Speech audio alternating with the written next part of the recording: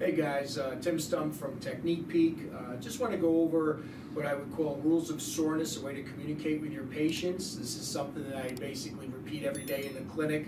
Um, and we've modified this from Marty Fees and our friend Tony Decker.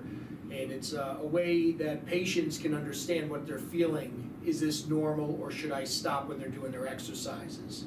a lot of times I'll joke around, just call it rules of engagement.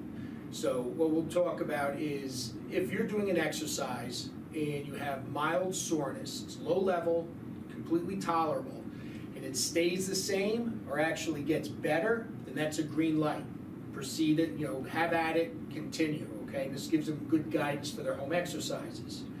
However, if you have that same mild discomfort, but as you continue to do your stretching or your strength exercises and it progressively worsens over time, I would term that a you know an amber light, and it's to proceed with caution. Okay.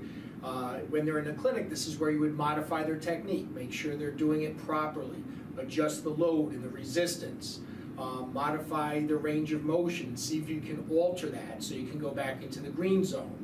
And then obviously the red light is anything that's sharp or shooting that causes immediate discomfort, something that you would label frank pain.